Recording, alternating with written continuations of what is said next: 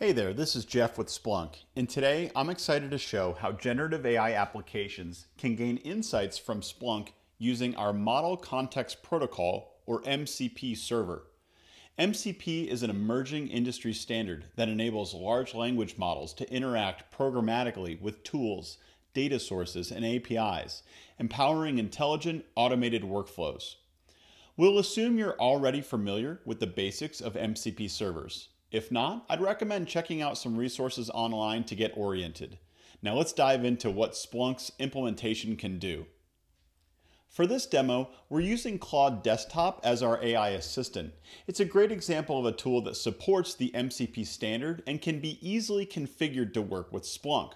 While Claude is our demo client today, the architecture is flexible, allowing integration with any MCP capable AI assistant, including proprietary systems built by your organization.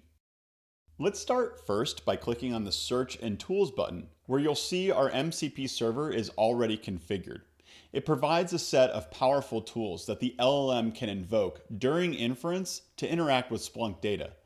Some examples include listing indexes to understand what data sources are available, retrieving knowledge objects like saved searches or macros to better understand how Splunk is configured, and of course, running Splunk searches to extract live insights from the data.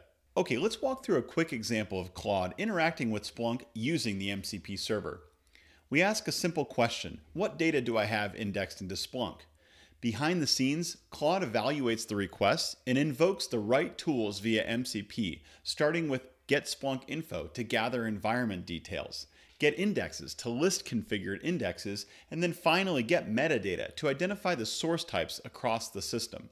It then synthesizes this data in response with a clear conversational summary this is a great example of how the MCP server bridges natural language and operational data, enabling real-time programmatic access to Splunk through AI. It's fast, contextual, and incredibly powerful.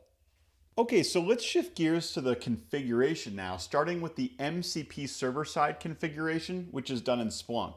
The first thing we're going to do is create a role, and this role must be named MCP underscore user. It does not need to have any capabilities. Once we create the role, we're then going to create one or more users who are going to inherit this new MCP user role. In this case, I'll arbitrarily call my user MCP user 1 and assign the MCP user role. Once that's done, I will create the user. The last step in the process involves creating an access token for this user to use.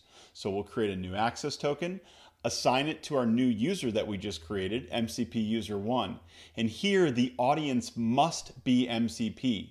We create the role and now we have access to our token, which we're gonna copy to use later in the client-side configuration. Keep in mind that similar to usernames and passwords, authentication tokens grant you access to Splunk and should be treated securely. Okay, and let's wrap up the configuration on the client side, which is done in Claude's settings. Under the developer section, you'll see that our MCP server is already configured. In order to do this, we click Edit Configuration and open up the Claude Desktop Configuration JSON. You will see that our JSON is in there where we specify the MCP endpoint URL as well as the MCP token that we just created. And that's it. The only question left to ask is how are you going to use the MCP server to become more productive? Happy splunking!